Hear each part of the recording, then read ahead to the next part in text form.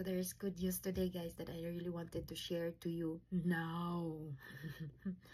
so this this news was from ano, uh, Immigration Refugees Citizenship Canada, IRCC.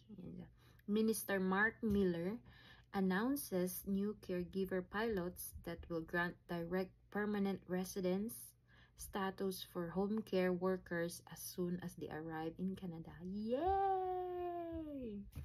So there are four requirements na hinihingi po nila. Mm, Canadian Language Benchmarks CLB4 or kung sa IELTS pa siya, dati uh, used to be 5. Ngayon binabaan nila ng 4. Yay!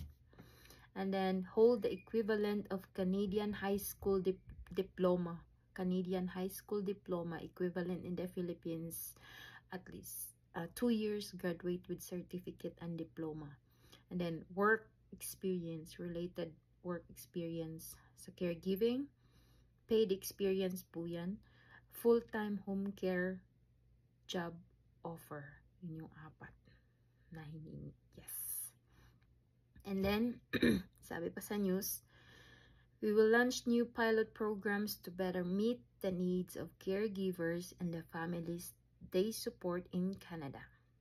The new pilot programs will grant permanent residence status to caregivers on arrival in Canada and allow them to pursue other jobs at any time.